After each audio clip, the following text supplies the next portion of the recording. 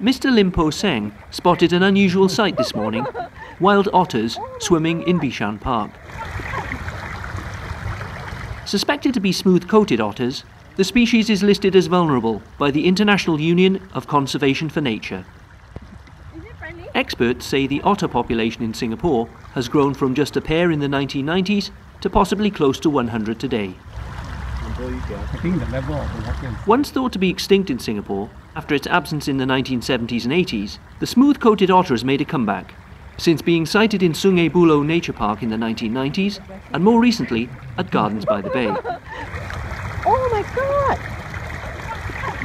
The number of sightings has been increasing since then, indicating higher otter presence along our shorelines. Although otters are known to be playful creatures, NParks has advised the public not to disturb them, but to appreciate them from a distance. I think the level of the water is high.